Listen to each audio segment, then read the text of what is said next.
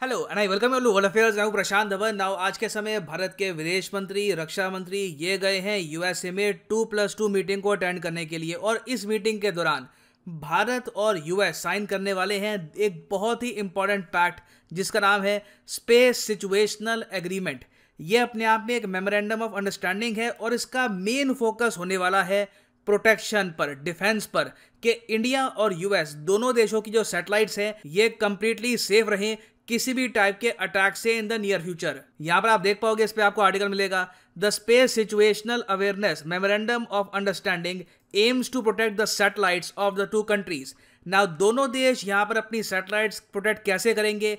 India की कितनी satellites हैं अभी ऑर्बिट में डिस्कस करेंगे, बहुत कुछ आपको जानने को मिलेगा। So a lot to know a lot to discuss as always but before we begin आगे बढ़ने से पहले यहाँ पे आपसे क्वेश्चन पूछूँगा। क्वेश्चन ये है कि कुछ ही हफ्तों पहले भारत ने एक युद्ध अभ्यास कंप्लीट किया है। इस युद्ध अभ्यास का नाम है डस्ट लिंक आपको बताना है कि Dustlik joint defence exercise Bharat करता है किस देश के साथ? ये है यहाँ पे आपकी ऑप्शंस श्रीलंका, फ्रांस, उज्बेकिस्तान या फिर यूएसए कमेंट सेक्शन में करिए उत्तर। सही आंसर मैं आपको दूँगा वीडियो के अंत में।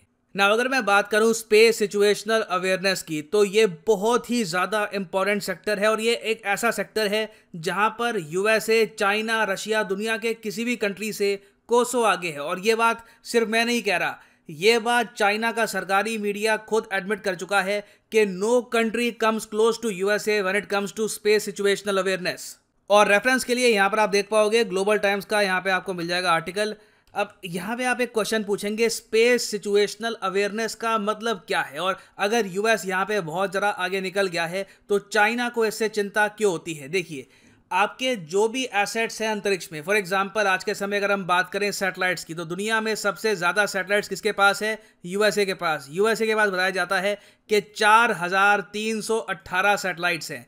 उसके बाद अगर हम बात करें भारत की तो भारत की कंपैरिजन में काफ़ी कम आज के समय ऑपरेशनल सैटेलाइट्स हैं। सिर्फ़ 104 सैटेलाइट्स आपको मिलेंगी इंडियन उसके अलावा चाइनीज़ सैटेलाइट्स आप अगर देखो तो चाइना की सैटेलाइट्स रफली आपको यहाँ पर मिलेगी 519 तो जो ये सैटेलाइट्स अंतरिक्ष में हैं, इन्हें आपको प्रॉपरली प्रोटेक्ट भी करना होगा, क्योंकि अगर ये सैटेलाइट्स डैमेज हो गई तो देश की सिक्योरिटी को बड़ा लॉस हो सकता है। अब यहाँ पर आप कहेंगे सैटेलाइट को डैमेज किससे हो सकता है?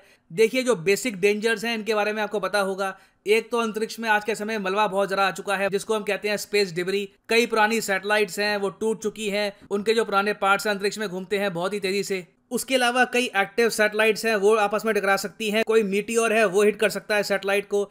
और फिर देखिए, एक बहुत ही बड़ा खतरा आज के समय आ चुका है एंटी सैटेलाइट मिसाइल्स का। और कई डिफेंस एनालिस्ट ये भी कहते हैं कि इन द फ्यूचर कोई बड़ी बात नहीं है कि जो मिलिट्री सैटेलाइट्स हैं, इनको डैमेज करने के लिए कई देश अपनी सिविलियन सैटेलाइट्स को उन मिलिट्री सैटेलाइट्स पर दे भी मारे ताकि एक बार को वो मिलिट्री सैटेलाइट प्रॉपरली फ़ंक्शन ना कर पाए।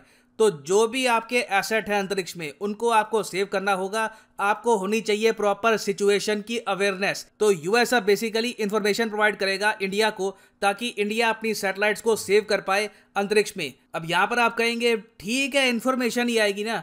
देखिए इन्फॉर्मेशन आएगी, मगर कई बार इन्फॉर्मेशन आपके एनिमी के बारे में भी बहुत ज़्यादा यूजफुल हो सकती है। फॉर एग्ज़ाम्पल यूएस अब क्या करेगा कि जो भी चाइनीज़ सैटेलाइट्स यूएस ट्रैक कर रहा है उनका डेटा भी ये लोग प्रोवाइड कर देंगे इंडिया को, क्योंकि यूएसए का जो स्पेस सिचुएशनल सिस्टम है, उसमें ये दुनिया भर की सारी सैटेलाइट्स को प्रॉपरली ट्रैक करते हैं, चाहे पाकिस्तान की सैटेलाइट हो, चाइना की सैटेलाइट, रशिया की सैटेलाइट तो दुनिया भर की सैटेलाइट्स अब कहाँ पर मूव कर रही है, इंडिया की सैटेलाइट्स को कहाँ पर पोजिशन खुद को करना चाहिए ताकि वो सेफ़ रहे, ये सारी जानकारी इंडिया को मिलेगी तो बाय डिफ़ॉल्ट आप कह सकते हैं अब इंडिया को पता लग जाएगा कि चाइना की आँखें कहाँ पर है। ये बहुत ही इंपॉर्टेंट है जानना कि वो कंट्री जो आपके लिए एक सिक्योरिटी थ्रेट है, उनकी सैटेलाइट कहाँ पर पोजिशन है, उनको क्या व्यू मिल रहा है आपकी टेरिटरी का।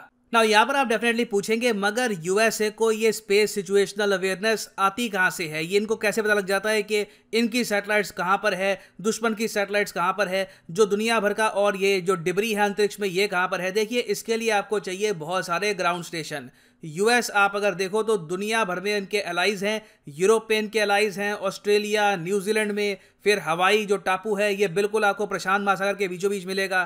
फिर इवन इंडियन ओशन में इनका एक मिलिट्री बेस है डिएगो गार्सिया के नाम से। तो दुनिया भर में इनके मिलिट्री बेसेस अवेलेबल हैं। तो ये आराम से अपने ग्राउंड स्टेशन से ट्रैक कर पाते हैं सैटेलाइट को और उसके ज़रिए इनको आसानी होती है समझने में कि बाकी कंट्रीज़ की सैटेलाइट कहाँ पर है और यूएस उसके हिसाब से कितना वेल पोजिशन है। और इंडिया के लिए ये एमओयू बहुत ही इंपॉर्टेंट इसलिए भी है क्योंकि देखिए इन द फ्यूचर हम लोग लॉन्च करने वाली हैं बहुत सारी और सैटेलाइट्स कोई बड़ी बात नहीं है कि 2025-26 तक इंडिया की टोटल सैटेलाइट्स डेढ़ सौ या फिर इवन 165 के आसपास हो सकती हैं।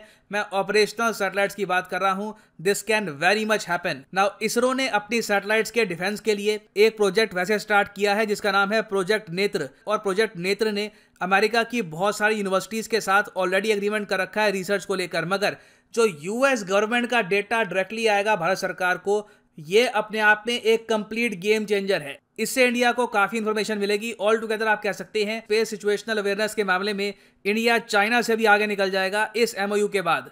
और ये पर्टिकुलर एमओयू स्पेशल इसलिए भी है क्योंकि मैं आपको ये बता दूँ कि स्पेस सिचुएशनल अवेयरनेस के मामले में हमारा ऐसा कोई भी एग्रीमेंट कोई भी पैक्ट आपको नहीं मिलेगा रशिया के साथ।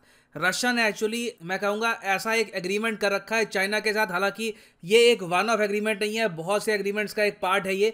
बट चाइना आज के समय रशिया के साथ काफ़ी हद तक कोऑपरेट कर रहा है अमेरिकन सेटेलाइट्स को ट्रैक करने के लिए। तो ये पहला मैं कहूँगा इंपॉर्टेंट जियो स्ट्रेटेजिक एक पैक्ट है, जहाँ पे इंडिया यूएस आपको एक तरफ़ दिखेंगे और चाइना और रशिया आपको दूसरी साइड दिखेंगे। और फिर अगर हम बात करें रीजन की मतलब कि इंडिया का जो इमीडिएट नेबरहुड है फॉर एग्जांपल श्रीलंका हो गया बांग्लादेश नेपाल ये कंट्रीज़ भी धीरे धीरे अपनी सैटेलाइट्स और लॉन्च करेंगी इन द नियर फ्यूचर तो इनको भी कहीं ना कहीं स्पेस सिचुएशनल अवेयरनेस के इनपुट चाहिए होंगे कि क्या इनकी जो सैटेलाइट्स हैं दो तीन सैटेलाइट्स ये क्या सेफ़ है या नहीं है? इनके एसेट्स को कोई नुकसान तो नहीं हो जाएगा? तो इंडिया बेसिकली क्या कर सकता है कि यूएस की इन्फो को यूज़ कर सकता है अपने इमीडिएट नेबरहुड में जो कंट्रीज़ हैं, इनकी भी हेल्प करने के लिए। तो इससे क्या होगा, इन छोटे देशों की जो डिपेंडेंस है भारत पर, ये और ज़रा बढ़ेगी, क्योंकि अगर इनको अपने जो एसेट्स हैं अंतरिक्ष में, ये सेफ़ रखने हैं तो भारत के इनपुट्स के बिना ये लोग ऐसा नहीं कर पाएँगे। तो हर तरफ़ से आप अगर देखो तो ये बहुत ही इंपॉर्टेंट एक एमओयू है, चाहे आप सिविलियन परस्पेक्टिव से देखो मिलिट्री परस्पेक्टिव से, और ये एक बहुत ही इंपॉर्टेंट स्टेपिंग स्टोन भी है। इससे ये बात भी क्लियर हो जाती है कि यूक्रेन के इशू को लेकर इंडिया, यूएस के जो ऑल टुगेदर स्ट्रेटेजिक रिलेशंस हैं, ये थमने वाले नहीं है। यूक्रेन हो सकता है कि एक इशू रहे, वहाँ पर बाइडेन बोले कि देखिए, कुछ तो निंदा करिए रशिया की, कहीं तो बोल दो कि रशिया खराब काम कर रहा है। आपने तो अभी तक इन्वेजन जो ये वर्ड है, वो भी यूज़ नहीं किया रशिया के लिए। इवन दो पाकिस्तान के जो आर्मी जनरल हैं, वो कह चुके हैं कि रशिया ने इन्वेजन करी है यूक्रेन की। तो वहाँ पर थोड़ा बहुत यूएस का प्रेशर रहेगा, मगर बाकी जगह आप अगर देखें तो क्वाड लगातार तरक्की करता रहेगा और इस टाइप के एमओयूज इंडिया और यूएस। लगातार इन द फ्यूचर साइन करते रहेंगे। ना वापस आते हैं अपने एमसीक्यू की तरफ़, के दस लिंक। ये एक जॉइंट डिफेंस एक्सरसाइज है, जो रिसेंटली इंडिया और किस और कंट्री के बीच में हुई थी। ये है यहाँ पे आपकी ऑप्शन तो सही उत्तर यहाँ पे है ऑप्शन सी उज्बेकिस्तान। और ये एक्सरसाइज हुई कहाँ पर थी? भारत में या फिर उज्बेकिस्तान में? तो ये युद्धाभ्यास हुआ था उज्बेकिस्तान देश में। और यहाँ पर आप देख पाएँगे, इसकी फ़ोटो भी आपको दिख जाएगी। एंड फाइनली यहाँ पर मैं ये भी ऐड कर दूँ कि अकेडमी का जो यूपीएससी कॉम्बो कोर्स है, वहाँ पे एक स्पेशल ऑफ़र स्टार्ट हो चुका है।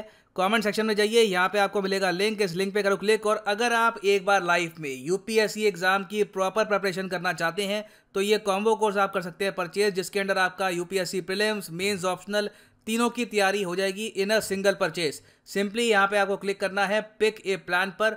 और अभी देखिए जो ऑफ़र है, यहाँ पे पहली बात तो आपकी सेविंग होगी, उसके अलावा आपको सिक्स मंथ्स एडिशनल फ्री मिलते हैं चौबीस महीने के कोर्स में। तो अगर आप मान लो चौबीस महीने का कोर्स परचेज करते हैं तो अपने आप जो ये कोर्स है, ये आपका बन जाएगा तीस महीने का। तो सिंपली यहाँ पे आपको क्लिक करना है ट्वेंटी फोर मंथ के कोर्स पर। जो प्राइसेस यहाँ पर लिखे हैं पे करने की आवश्यकता बिल्कुल नहीं है। यूज़ करिए यहाँ पर कोड पीरी टेन और प्राइसेस और ज़्यादा यहाँ पर कम हो जाएँगे। So use the code Piri ten and save your hard and money so इसी नोट के साथ, ये है वीडियो का thank you for listening and as always God bless you all